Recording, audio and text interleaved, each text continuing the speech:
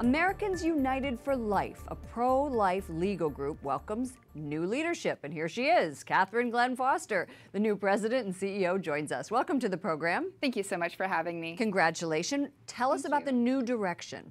Absolutely. Well, AUL has an innovative mother child approach where we recognize that you aren't required to choose between the mother and the child when we're talking about abortion. Mothers are harmed just as children are and are victimized by a corrupt and profit driven industry. The House passed a health care bill including halting federal funding for Planned Parenthood for a year. The bill is now in the Senate. What do you want to see in that Senate version of the bill?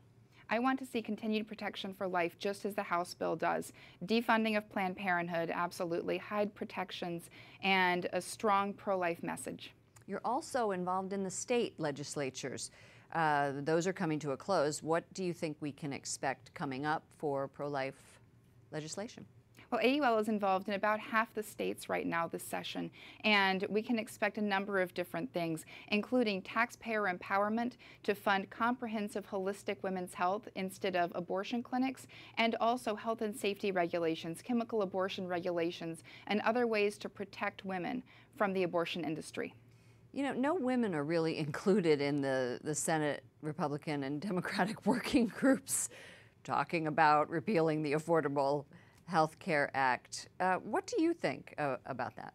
Yeah, I, I think the voice of women is important. I, I do believe that the representatives there, the senators there, are representing the voices of women, but I absolutely hope that the voices of women are very strongly heard throughout that process. And how will you be involved? How will your group be involved? We are going to speak very firmly uh, in favor of protections for life and, uh, and just speak out on that issue uh, throughout the entire process. What is the one thing you're looking forward to? Uh, in this role. I'm Sure. looking forward to a lot of things. Mm-hmm. Um, uh, definitely reaching out to a lot of groups, to, to the youth, to the pro life generation, and making sure that they know and that all of America knows that every innocent human life deserves to be protected in the law from conception to natural death. Well, best of luck to you in your new Thanks. job at AUL. Thank you for joining us. Thank you.